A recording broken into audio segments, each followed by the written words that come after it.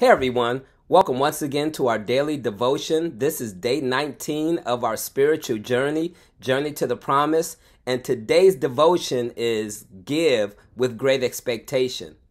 And when we think about giving with expectation, it is not saying that our motives are to give in order to get back.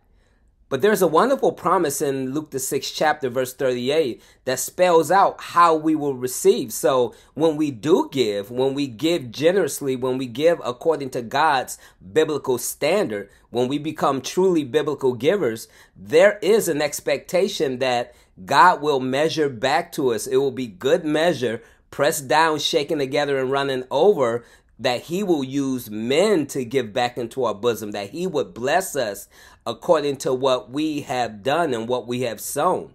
So as believers, we are to give generously in our time and in our prayer and, and even in our finances along with our service because we realize that we are not the source, that God is the source. We, we don't depend on our own selves. We are not our own. We've been bought with a price, the price of his blood, and we belong to him. And so everything that we receive from God, we it, literally we're getting it on loan. We are good stewards of what he's given us while we're here on this earth.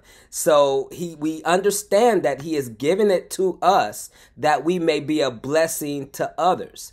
But when we learn sacrificial generosity, and we do it in his name, there will be overflowing blessings both spiritual and physical, that will come back to us. So we have that great expectation that if I do this, God will do this because God will honor his word. So we understand that God's principle of reciprocity is activated when we minister to others by meeting their need, by giving to them, by um, taking care of the church, the house of God, and the people of God.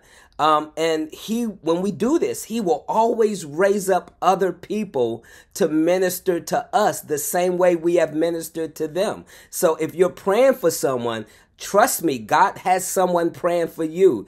If you are serving in the church, God will make sure and meeting needs, God will make sure that someone is serving you. If you are looking out for other people's children in prayer and in service and in ministry, even financially, God will make sure that even your children are taken care of. This is the law of reciprocity. This is what God does. This is who He is. That He will give and continue to give and continue to mete out according to what we have given. So as you give, um, of course, our motives are not to give to get back. We don't have this instant gratification mentality, but we do know that God will honor his word and that he will give back to us good measure, pressed down, shaken together, and running over. So remember that. And as you do, and as you give, and as you serve, and as you pray, and as you give of your resources and take care of the house of God, do it with great expectation that God will reward you over abundantly according to all he can do and according to the power that worketh in us and according to his riches and glory that by Christ Jesus. God bless you. I pray that this has been a blessing to you. Remember, continue your spiritual commitment.